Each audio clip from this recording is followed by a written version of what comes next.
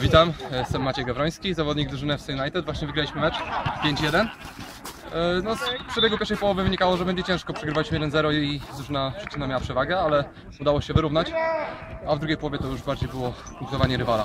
Oni prowadzili grę raczej, my wychodziliśmy z kontrami, ewentualnie jakieś po prostu szyb, szybkich parę podań i e, nastawienie nogi na pustą bramkę, tak padły dwie bramki. A co było waszym najsilniejszym punktem dzisiaj? Wydaje mi się, że Solidna gra w obronie. Bardzo w pierwszej połowie troszkę był z tym problem, Mhm. e, bo nie do końca się dobrze przesuwaliśmy, kiedy zawodnicy grali z bramkarzem w pięciu. Natomiast w drugiej połowie, już po, po rozmowie w przerwie, zostawiliśmy sobie tę grę, już wychodziliśmy bardziej asymetrycznie i odcinaliśmy te boczne podania.